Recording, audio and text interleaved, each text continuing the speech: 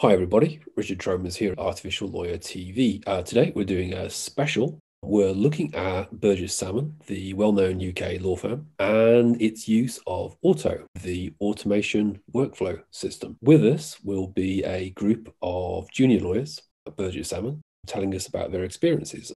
First up is Alex. Could you tell us a bit about yourself? I'm Alex Knowles Smith. I'm a newly qualified solicitor in the pensions department at Burges Salmon. So, where did you first come across AUTTO? How did you get involved with it? During my training contract, I spent four months in our in house um, legal technology and innovation team doing a sort of internal secondment.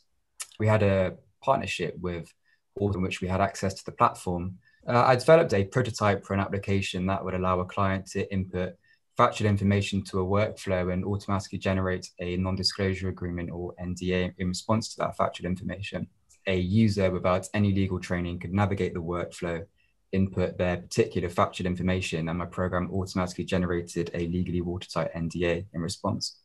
When you saw, you know, no code automation, what were you expecting? The way that programming applications from scratch, of course, requires uh, considerable skill and coding experience. So I had thought that a no code platform, which allows someone without any coding experience whatsoever to build applications, would necessarily have a very basic output. Mm. So I was quite impressed by using it by how sophisticated the platform actually is, allowing users to build quite complex integrations. So I was surprised that a user with no coding experience at all like me can build actually quite complex applications on the platform in a short amount of time. What would you like to build next? So what I built was a document automation tool, but I think next I'd be interested in building a PSL style flowchart to automatically navigate a particular statutory regime or set of case law. So law students and legal practitioners will be familiar with legal flowcharts, which direct the user down a particular path depending on the particular factual circumstances that apply. What would you say to anyone else, and not necessarily junior lawyers, because it's always assumed that junior lawyers are the people who will be using the tech. It could be everyone in the firm, really lawyers should be curious and interested in AUTTO and other no code automation platforms for a few reasons. First, I think that they're very useful for the time saving potential for lawyers, which can translate directly into cost savings for clients. Beyond that, it's also quite interesting to use. It's, it's cognitively challenging and, dare I say, even quite fun to take your legal expertise and marry that up with program design to build a fully automated system effectively to do your job for you as a lawyer. And finally, I would say it may well be the future.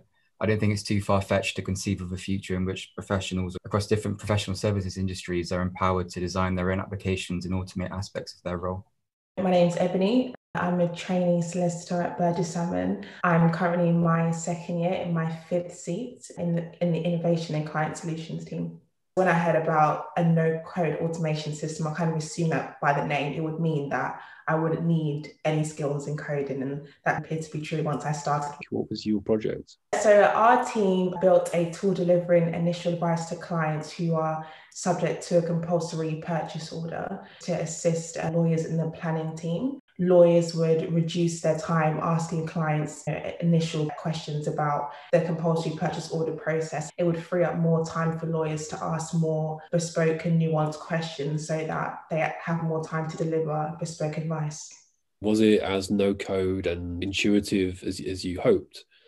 Absolutely. The word intuitive definitely rings true. And like I say, I don't have extensive experience in coding at all. And I found after playing around with it for about five to 10 minutes, I was able to easily create workflows and looking to your career and more broadly across the legal profession. I mean, how do you see this type of technology changing things? It just increases efficiency astronomically. It just reduces the time that lawyers spend on administrative tasks and actually gives us back more time in effect to do the things we're, we're qualified to do and that you know provide legal advice actually draw down into a client's issues try and understand their concerns and then trying to provide advice that actually tailors to, to all of their queries and all of their particular issues. And now we're going to talk to jason. Uh, hi jason. First of all could you just tell us a little bit about your role at the firm I'm a second year trainee at Burges Salmon, um, currently sitting in the construction and engineering team. So I first came across AUTTO at the beginning of this year. I took part in a trainee challenge with three other trainees in my year. We developed a application to help automate aspects of client matter inception, so onboarding new clients into the firm and opening new instructions for existing clients. Did you find it intuitive? So nobody in my team had any real sort of background in technology or coding. So we were a little bit apprehensive about that to begin with. But yeah, AUTTO really is a very intuitive tool. Large aspects of it are drag and drop, and you can really you know build the skeleton of a tool in quite a short time. I think we were all really impressed as well with how how much data you can plug into it. What advice or takeaways would you give to anyone else looking at this particularly perhaps some of the older lawyers who see the name AUTTO and they're like oh, how on earth am i going to use this? It looks complicated. It's a bit of a challenge isn't it across the legal industry in terms of that resistance to tech sometimes I think once once you get involved with the tool, it, it really is intuitive. It, it almost encourages you to be able to build more and more because once you get going, you see that functionality that's there. I think we we took away so much from you know collaborating and, and thinking differently about a very routine process and thinking differently about how you do things. That can really unlock efficiency for the firm.